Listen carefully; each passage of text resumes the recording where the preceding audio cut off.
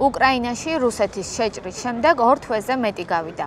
ომის დაწყებიდან 5 მილიონზე მეტი ადამიანი იძულებული გახდა მიეტოვებინა საკუთარი სახლი, ოჯახის წევრები, ყოველდღიური ცხოვრება და თავი უცხო ქვეყნისთვის შეეფარებინა. იძულებით გადაადგილებულ პირთაგან უმეტესობა ქალი და ბავშვია.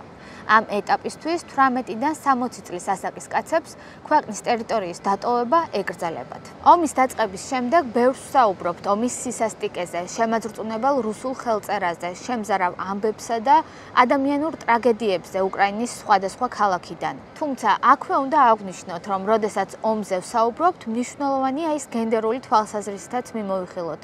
როგორც ისტორია ცხადყოფს, განსხვავებულია ქალებისა და კაცების გამოცდილება, გამოწვევები საფრთხეები და საჭიროებები შეიარაღებული კონფლიქტის დროს. მიუხედავად იმისა, რომ ქალები მრავალგვარ როლსა და პასუხისმგებლობას იღებენ საკუთარ თავზე, ისტორიაში მათი ხმა და გამოცდილება ხშირად ნაკლებად გვესმის. ომის დროს ქალების ღვაწლისა და როლის ხაზგასასმელად ნინო ბაისონაშვილმა ფემინას ფარგლებში კამპანია ქალები და ომი წამოიწყო. როგორც კი განახორციელა რუსეთმა ეს სამხედრო აგრესია უკრაინაზე და შეიჭრა უკრაინის ტერიტორიაზე, ძალიან მალე დაგროვდა ცოდნა იმის შესახებ, როგორ მონაწილეობდნენ ქალები ომში და მეორე მხრივ ძალიან ძიმე ფაქტებზე, როგორიც არის გენდერული ძალადობა ომში. ზოგადად ომზე, როგორც ასე ვთქვათ, ფენომენზე, წარმოქმნა არის ისეთი, რომ ეს არის მხოლოდ კაცების ომი, ამაში მსხვერპლს მხოლოდ კაცები იღებენ, მხოლოდ კაცებისგან იქმნება გმირებიც და ანტიგმირებიც. და ჩვენ ძალიან მალე დავინახეთ, რომ უყურადღებოდ რჩებოდა ომში ერთის მხრივ ქალების როლი რომლებიც იბრძოდნენ ფრონტზე, კაცების მხარდან მხარ მეორე ხრივ არის კიდევ ის რომ ისინიც ვინც ზოგში რჩებიან როგორც მედები, ეხმარებიან დაჭრილებს, დარეულები და შემდეგ, ასევე მათი როლი არის მუდმივად უხილავი და უკანა პლანზე გადაწეული. ისევე როგორც ჩინდარჩენთა ომი, რომლებსაც გათმაგებული შრომა უწევთ და მეორე ხრივ მათ უნდა აიღონ პასუხისმგებლობა ოჯახების უსაფრთხოებაზე, საკუთარი თავების უსაფრთხოებაზე, ბავშვების უსაფრთხოებაზე. რაც შეეხება თავად ძალადობას, ომში გენდერულ ძალადობას, ომის ფემიციდს, ომის გაუპატიურებებს, ზოგადად ქალის აღქმა ხდება როგორც ერის საკუთრების. და სწორედ ამითი აიხსნება ძირითად შემთხვევაში აი ეს გაუპატიურებათა ძალიან ძიმე ისტორიები და ციკლი, რომელიც რომელიც მომწეთ ჩვენ ვართ, აა მათ შორის არასრულწლოვანი ხელოვნების მარასულწლოებისა და ქალების რომ ისინი თითქოს ამას იყენებენ როგორც იარაღს შურს ძიობენ მტრის კაცებზე. ანუ ამ შემთხვევაში ზუსტად ფემინის ერთ-ერთი აქციაც რომელიც პარიში გამართა არის ამისი ილუსტრაცია რომ ქალის სხეული ბრძოლის ველი არ არის. და არ შეიძლება რომ ქალზე განხორციელებული ძალადობით ვინმეზე იძიოს შური. უბრალოდ ჩვენ არ ვიცით აი ამ ყველაფრის და ანუ ამ ყველაფრის შესახებ ჩვენ ძალიან ბევრი რამე არ ვიცით მათ შორის არც ერთი ომიდან. და მეორე ზუსტად აი ეს ომში გენდერული ძალადობა, სუიციდი, ფემიციდი, რომელზეც ინფორმაცია მწირია და თან არ უყვართ ამაზე საუბარი. თითქოს უფრთხიან. როდესაც ამაზე ინფორმაცია ვრცელდებოდა, კითხვებს ვამდნენ, ან აზიარებდნენ ასეთი სათაურებით რა ხდება ხვდებით, ანუ რატომ აკეთებენ ამას? და როდესაც მე მათ ვუხსნიდი და ვეუბნებოდი, რომ ეს არის ომის გენდერული მხარე, უბოროტესი მხარე გენდერული ძალადობისა და ამის დანახვა მნიშვნელოვანია, მე წინააღმდეგობა მხვდებოდა. ქალებისთვის ომი მხოლოდ ტკივილთან, დანაკარგთან და სენტიმენტებთან არ ასოცირდება. ისინი ხშირად უფრო მეტად ხელშესახებ საფრთხეებსა და გარემოებებს ეჩეხებიან. რუსეთ-უკრაინის ომის დაწყებიდან მალევე უკრაინელი ქალების მიმართ სექსუალური ძალადობის პირველი შემთხვევების შესახებ დაიწყეს საუბარი. პირველად ცნობები ქალაქ ხერსონიდან გავრცელდა. გაუპატიურების 11 დადასტურებული შემთხვევიდან 6 ქალი დაიღუპა. უკვე აპრილის თვიდან უკრაინის სახალხო დამცველმა ლუდმილა დენისოვამ ბავშვების და ქალების გაუპატიურების ახალი შემთხვევების შესახებ დაიწყო ცნობების გავრცელება. ფაქტები შეეხებოდა იმ ქალაქებს, რომლებიც მრავალი დღის განმავლობაში რუსის სამხედროების მიერ იყო ოკუპირებული. აღსანიშნავია, რომ გაუპატიურება საუკუნეების განმავლობაში აღქმული იყო როგორც ომის იარაღი. ასწლეულები და ათასწლეულები გახდა საჭირო, სანამ სექსუალური ძალადობა ომის დანაშაულად აღიარეს. ქალები იღებენ პასუხისგებლობას თავიანთი ოჯახის წევრების უსაფრთხოების შესახებ, მაგალითად დედები თავიანთი შვილების გადარჩენის მცდელობის დროს იღებენ რისკიან გადაწყვეტილებებს. მაგალითად, ისეც როგორც არის ქვეყნის დატოვება და ხშირ შემთხვევაში ისინი მარტო ტოვებენ ამ ქვეყანას და ის მარტო დატოვების პროცესიც არის განსაკუთრებული სირთულე მათთვის. და მე ის რომ როდესაც ჩადიან მიმღებ ქვეყნებშიც, მიმღები ქვეყანაც რამდენად გაუწევთ მათ სათანადო დახმარებას, აი ესეთ კითხვის ნიშნის ქვეშ დგას. მინდა აღვნიშნო, რომ სექსუალური ძალადობა როგორც ომის იარაღი არ არის ახალი ფენომენი, როგორც თქვენ აღნიშნეთ.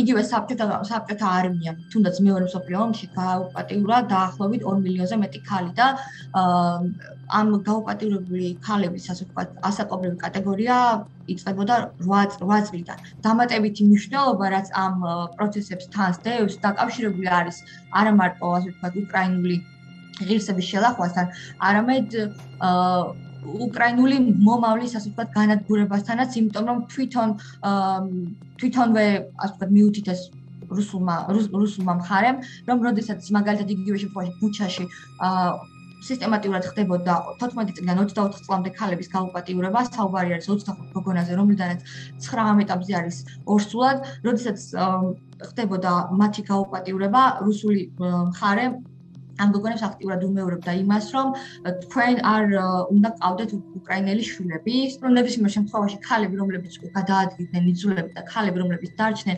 არიან ერთნაირ მოწყობილ მდგომარეობაში, იმიტომ რომ ის ტრავმა, რომელიც მათ მიიღეს, ფსიქოლოგიური ტრავმა, იგივე სექსუალური სექსუალური ტრავმა, მათ სამწუხაროდ აღარ მისცემს საშუალებას, რომ ცხოვრება ისე გაგრძელდეს, როგორც ამ კონფლიქტამდე იყო.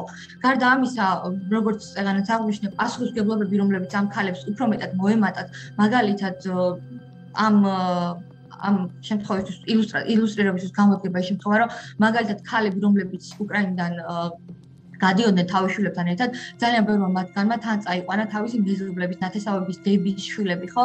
ის ბავშვები რომლებიც დაობლდნენ და რომლებსაც აღარავინ აღარ დარჩათ პატრონი.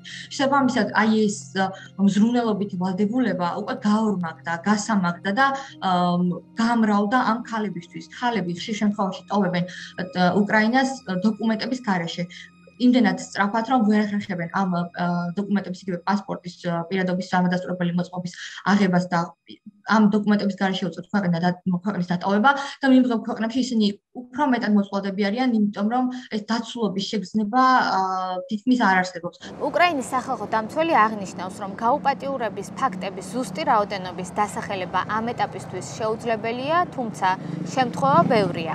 სხვა საფრთხეებთან ერთად ქალებისთვის გამოწვევად რჩება ჯანდაცვისა და რეპროდუქციული სერვისების მიუწვდომლობა. შეიარაღებული კონფლიქტების დროს საყურადღებოა ასევე სექსუალური და რეპროდუქციული ჯანმრთელობის შემდეგი გამოწვევები და ასპექტები. მოწლებში ეს აღიარებულია რომ სექსუალური ძალადობა არ არის მხოლოდ შეიარაღებული კონფლიქტის რაღაც ერთ-ერთი თანმდევი ფაქტორი, ეს არის ხშირ შემთხვევაში ეს არის თვითონ ომის და თავად ბრძოლის სტრატეგია.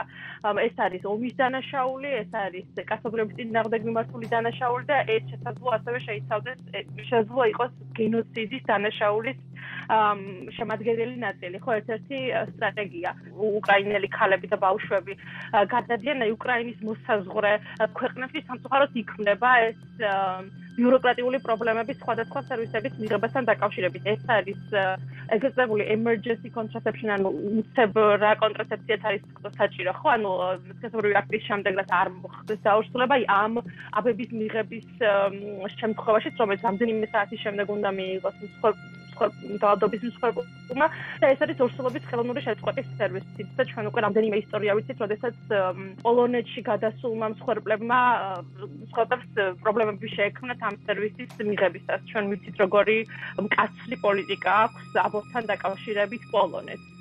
და ასევე სხვა სახის სერვისები ხო? ანუ მასობრივი სექსუალური ძალადობების დროს ასევე არის რისკი რომ გავრცელდება სხვადასხვა სქესობრივი გადამდები ინფექციები, მათ შორის საშიში ინფექციები ხო, როგორიც არის აივი და აი ყველაფრის გარდა რაც ვისაუბრეთ, პრობლემა არის მაგალითად მენსტრუაციული პროდუქტების მიწოდება. გადამ ძიმე კადრი ვნახეთ, შობია რომ ვა როგორ ხდება უკრაინაში ხო იქ ბუნკერებში მეტროებში მიწისქვეშა თავშესაფრებში ასევე მარიუპოლში ნახეთ რამდენიმე წინ თვითონ თავად სამშობიაროდ დაიბომბა. ეს ნიშნავს იმას რომ ქალები ასეთ მნიშვნელოვან დროს სამშობიაროდ წებულებაში არ გრძნობენ თავს უსაფრთხოდ. და რა თქმა უნდა პოსტსამშობიარო სერვისებით ხო მშობიარობით არ მთავრდება ეს პროცესი ძალიან მნიშვნელოვანია მათ შორის სხვადასხვა პროდუქტების მიწოდება ამ ქალებისთვის იგივე ლაქტაციის თვის დამხმარე პროდუქტები ჩვენ როდესაც ვლაპარაკობთ პროდუქციულ ჯანმრთელობასთან დაკავშირებულ სერვისებზე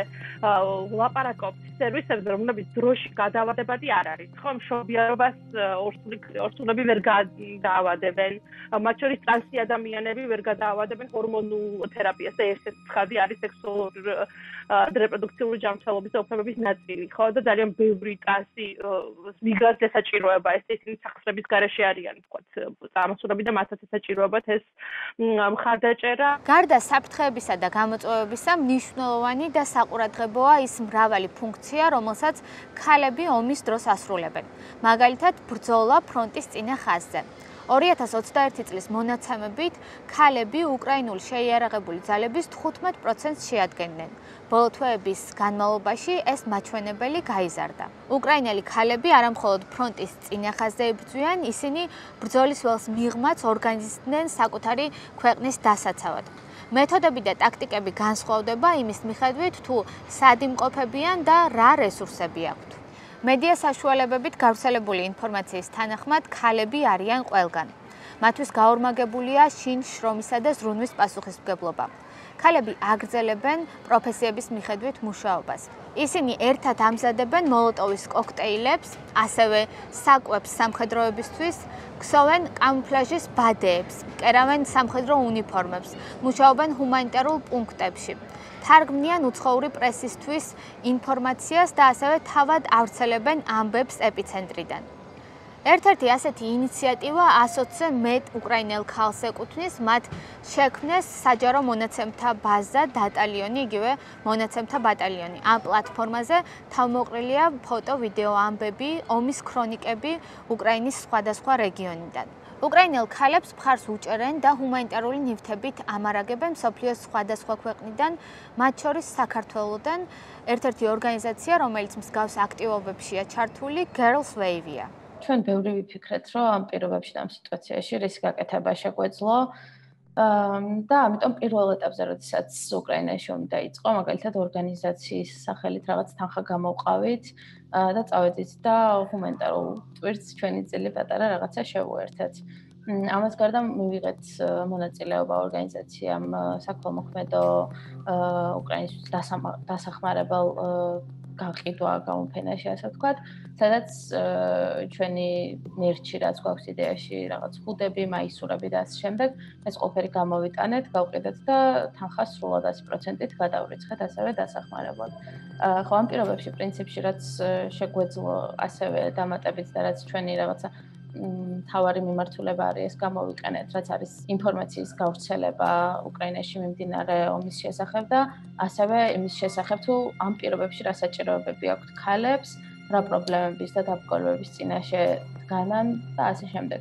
უკრაინის ომმაც კარგად დაგვანახა ის, რომ რა არის ომი ამაზე წარმოქმნა, მაინც ასე თუ ისე არ გვაქვს რაღაც ინფორმაციებს ვიღებთ, ვიცით, მაგრამ რეალურად რა საშინელებები ხდება და რა ტრიალებს იქ ბავშვების თავს, ქალების თავს, მოხუცების, კაცების ასე ვთქვათ, ეს რაღაც პირად ისტორიებად არ ვიცით. ჩვენც ინფორმაცია გვაქვს, რომ მაგალითად ქართულმა ქალებმაც იგივე გაიარეს და ომის პირობებში რაღაც იგივე პრობლემებს, ძალადობას, დისკრიმინაციას, სირთულეებს შეეჯახნენ, თუმცა ეს ვიცით გადმოცემის დონეზე.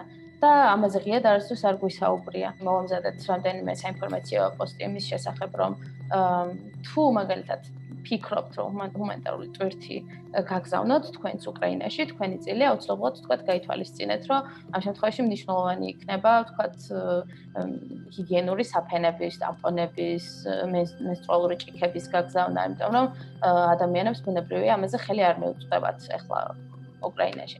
ყველას ვურჩევდი უფრო სწორად, ვინც შეიძლება ახლა ამას უსმენდეს, რომ აა კარგი იქნება თუ სვეტლანა ალექსიევიჩის ციგნებს წაიკითხავთ, მაგალითად, ომს არ აქვს ქალის სახე, იმიტომ რომ ჩემთვისაც, როდესაც ომი რა იყო, ესე კარგი წარმოდგენა არ მქონდა და ესე შორით მოყოლილი ისტორიებით ვიცოდი, ამ ციგნმა ძალიან თვალი ამიხილა და უფრო მეტად დამანახა რა საჭიროებები გვაქვს ქალებს ამ კრიზისულ სიტუაციებში. როდესაც ომის გენდერულ ასპექტებზე ვსაუბრობთ, მნიშვნელოვანი კომპონენტია ქალების მონაწილეობა სამშვიდობო მოლაპარაკებების პროცესში. უკრაინა ერთ-ერთია იმ ქვეყნებს შორის, რომელსაც გაეროს უშიშროების საბჭოს რეზოლუციაზე 1325 აქვს ხელი მოწერილი, რომლის მიხედვითაც გარანტირებული უნდა იყოს ქალების მონაწილეობა სამშვიდობო პოლიტიკის ფორმირების დროს.